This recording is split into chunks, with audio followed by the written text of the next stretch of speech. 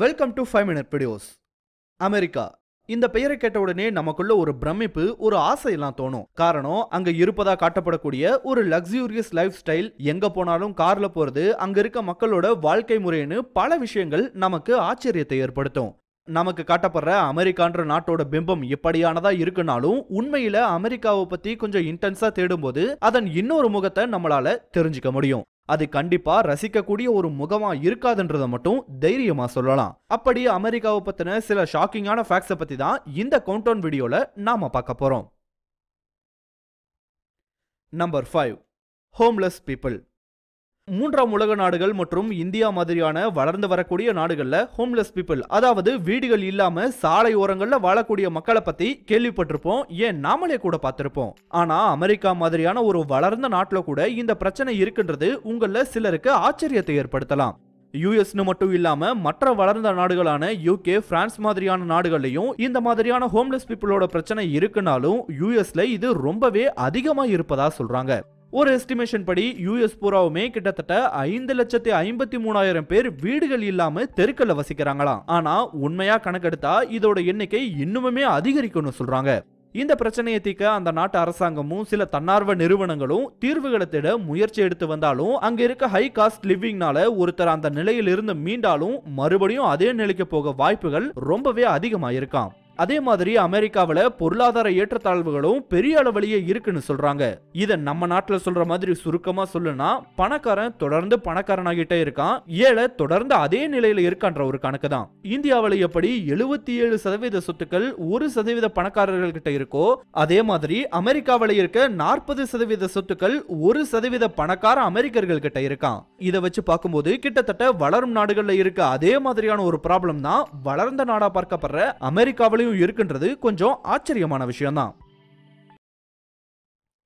Number four கன் usage மற்ற எந்த நாடுகளை விடவும் கன் யூசேஜ் அமெரிக்காவில் ரொம்பவே அதிகம்னு சொல்றாங்க. அதாவது பொதுமக்கள் கிட்ட இருக்க துப்பாக்கிகளோட எண்ணிக்கை இங்க ரொம்பவே அதிகமா. ஒருத்தர் ஒரு குறிப்பிட்ட வயதை தாண்டி இருந்து அவர் மீது எந்த ஒரு குற்ற பின்னணியும் இல்லாத பட்சத்துல அவரால் ஈஸியா கன் லைசன்ஸையும் கன்னையுமே பர்ச்சேஸ் பண்ணிட முடியும். இப்படி துப்பாக்கிகளை வைத்திருப்பது பற்றி அவங்களோட ஃபர்ஸ்ட் அமெண்ட்மெண்ட்லேயே உரிமைகள் வழங்கியிருப்பதாகவும் தகவல்கள் இருக்கு.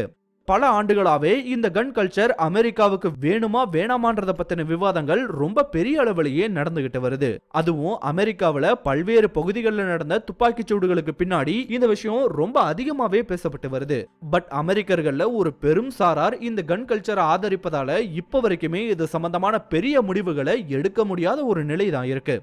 மக்கள் வச்சிருக்க துப்பாக்கிகளால் ஏற்படக்கூடிய விபரீதங்களும் நாளுக்கு நாள் ஒரு பக்கம் அதிகரிச்சுக்கிட்டே தான் வருது. அதுவும் துப்பாக்கியை கையாள தெரியாம சின்ன சின்ன பசங்கள்லாம் அடுத்தவங்களை சுட்டுடுறதும் அவங்களே சுட்டுட்டு இறந்து போவது மாதிரியான விஷயங்களும் அதிகரித்து வருவதா சொல்றாங்க. இரண்டாயிரத்தி பதினாறாம் ஆண்டோட நிலவரப்படி துப்பாக்கிகளால் நடந்த இறப்புகள்ல நாலு சதவீதம் அதை முறையா பயன்படுத்த தெரியாம நடந்த ஆக்சிடென்டல் டெத்ஸா பதிவு செய்யப்பட்டிருக்கு. அடுத்து முப்பத்தைந்து சதவீதம் இறப்புகள் தற்கொலையாகவும் அறுபது சதவீத இறப்புகள் கொலையாகவும் பதிவு செய்யப்பட்டிருக்கு. மீதி இருக்க ஒரு சதவீதம் அன்கேட்டகரைஸ் டெத்ஸாகவும் பார்க்கப்படுது. நம்பர் த்ரீ மிக அதிக சிறை கைதிகளின் எண்ணிக்கை. இந்த விஷயம் கண்டிப்பா உங்களுக்கு ஆச்சரியத்தை கொடுக்கலாம். என்னன்னா இந்த உலகத்திலேயே அமெரிக்காவில தான் மிக அதிக நபர்கள் சிறையில் அடைக்கப்பட்டிருக்காங்க. அதுக்கு அங்க இருக்க ஸ்ட்ரிக்ட் லாஸ் காரணமா இல்ல சிஸ்டமானு தெரியல பட் அமெரிக்கால இருக்க சிறைகள்ல தான் அதிகப்படியான நபர்கள் அடைக்கப்பட்டிருக்காங்களாம். இது மட்டும் இல்லாம மிக அதிக சிறை கைதிகளின் காரணமா அங்க இருக்க ஜெயில் எல்லாம் ஓவர் கிரவுட் ஆவதாகவும் தகவல்கள் இருக்கு. இதன் அளவு என்னன்னு தேடும்போது இரண்டாயிரத்தி பதினாறுல வெளியான ஒரு ரிப்போர்ட் படி ஒரு லட்சம் அமெரிக்கர்களுக்கு அறுநூத்தி ஐம்பத்தஞ்சு பேர் ஜெயில இருப்பதா சொல்றாங்க. ஆனா இரண்டாயிரத்தி பத்தொன்பது முடிய போற இந்த வேளையில இந்த எண்ணிக்கை எழுநூற்று இருபதுக்கும் அதிகமா இருக்க வாய்ப்புகள் இருக்குன்னு ஒரு தகவல் சொல்லப்படுது. சரி இந்த கணக்குல இந்தியா எங்க இருக்குன்னு பார்க்கும்போது கண்டிப்பா உங்களுக்கு ஆச்சரியமா இருக்கும். எப்படின்னா ஒரு லட்சம் இந்தியர்கள்ல முப்பத்தி மூணு பேர் தான் சிறையில இருக்காங்களாம். இதுவும் ரெண்டாயிரத்தி பதினேழாம் ஆண்டோட நிலைதான். இப்போ மேபி இந்த எண்ணிக்கை ஐம்பதாவோ இல்ல அதுக்கு மேலேயோ உயர்ந்திருக்கலாம். பட் ஸ்டில் இதுல மிகப்பெரிய இடைவெளி இருப்பது ரொம்ப நல்லாவே தெரியுது. இது சம்பந்தமான ஒரு லிங்கை நான் டிஸ்கிரிப்ஷன்ல கொடுத்திருக்கேன். விருப்பம் இருந்தா அதையும் பாருங்க. அமெரிக்காவில் இப்படி அதிகப்படியான நபர்கள் சிறையில் இருப்பதற்கு இன்னொரு காரணமும் இருக்கு.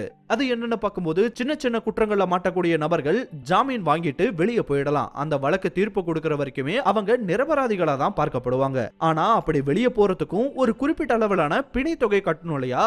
அதை கட்ட முடியாம கூட ஜெயில எவ்வளவோ பேர் இருக்காங்களாம். இதுவும் இங்க இருக்க அதிகப்படியான எண்ணிக்கைக்கு காரணம்னு சொல்றாங்க. அதுவும் எந்த அளவுக்குன்னு பார்க்கும்போது நாலரை லட்சத்துக்கும் அதிகமானவங்க இந்த கேட்டகரியில மட்டுமே இருக்காங்களாம் அமெரிக்க சிறைகள்ல. நம்பர் டூ அமெரிக்க மக்களின் கடன். அமெரிக்காவில் வாழக்கூடிய பெரும்பாலான மக்கள் ஒரு பெரிய கடன் நிலுவையை வச்சிருக்காங்களாம். ஒட்டுமொத்த சராசரின்னு எடுத்துக்கும் போது ஒவ்வொரு அமெரிக்கருக்குமே முப்பத்தி எட்டாயிரம் டாலர்கள் கடன் தொகை இருப்பதா தெரிய வருது. இதுக்கு பல காரணங்கள் இருந்தாலும் முக்கியமான காரணங்கள் ஒன்னா பார்க்கப்படுறது கிரெடிட் கார்டு. அமெரிக்காவில் இருக்க மக்கள் பல காலத்துக்கு முன்னாடியே கிரெடிட் கார்டு கல்ச்சருக்கு மாறிட்டாங்க. தற்போதைய சூழ்நிலையில எண்பத்தி ஆறு சதவீதம் பேர்கிட்ட கிரெடிட் கார்டு இருப்பதாகவும் அதை தங்களோட அன்றாட தேவைகளுக்கு பல இடங்கள்ல பயன்படுத்திட்டு வருவதாகவும் தெரிய வருது. அது மட்டும் இல்லாம அமெரிக்கர்கள் பொருட்களை அதிகம் வாங்கக்கூடிய ஒரு நபர்களாகவும் பார்க்கப்படுறாங்க. இந்த மனநிலைக்கு கிரெடிட் கார்டு ஒரு சரியான சாய்ஸாகவும் அவங்களுக்கு இருக்கு.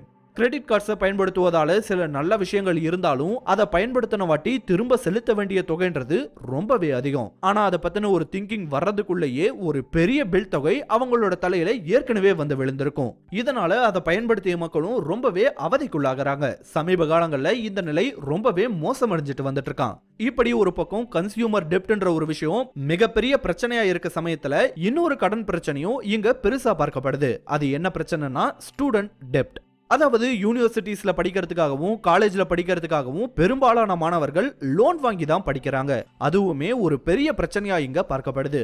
அதுவும் கொஞ்சம் தொகையெல்லாம் இல்ல ஒன்றரை ட்ரில்லியன் அளவுக்கான லோன் அமௌண்ட் இன்னுமுமே மாணவர்களால் கட்டப்படாமல் இருப்பதாகவும் ஒரு தகவலை சொல்றாங்க. Number one health care system அமெரிக்காவோட மிகப்பெரிய பிரச்சனைகள்ல ஒன்றா இருப்பது அங்க இருக்க ஹெல்த் கேர் சிஸ்டம் மற்ற நாடுகளில் கம்பேர் பண்ணும்போது அமெரிக்கால ஆகக்கூடிய மெடிக்கல் எக்ஸ்பென்சஸ் ரொம்பவே அதிகம். நம்ம ஊர்ல மிஞ்சு மிஞ்சு போனா ரெண்டாயிரத்துக்குள்ள போடப்படுற ஒரு தடுப்பூசிக்கே அமெரிக்காவில் பல நூறு டாலர்கள் செலவாகும். அதே மாதிரி சரியான மெடிக்கல் கவர் இல்லாம ஏதாவது ஒரு மேஜர் ஹெல்த் இஷ்யூவோட ஒரு அமெரிக்கர் அங்க இருக்க ஒரு ஹாஸ்பிட்டலுக்குள்ள போனா அவரோட மொத்த லைஃப் சேவிங்ஸுமே காணாம போற அளவுக்கான ஒரு பில்லை அவர் எதிர்கொள்ள நேரிடும். இதன் காரணமா மெடிக்கல் பேங்க்ரப்சி அதாவது மருத்துவ செலவுகளின் காரணமா திவாலாவது இப்போ சகஜமா நடக்கக்கூடிய ஒரு விஷயமாவும் பார்க்கப்படுது. அதுவும் இந்த நிலை கம்மி எல்லாம் இல்ல. மொத்தமா திவால்னு அறிவிக்கிறவங்கல அறுபத்தி ஆறு புள்ளி ஐந்து சதவீதம் இந்த மருத்துவ செலவுகளால தான் ஏற்படுதுன்ற ஒரு ஆச்சரியமான தகவலையும் சொல்றாங்க.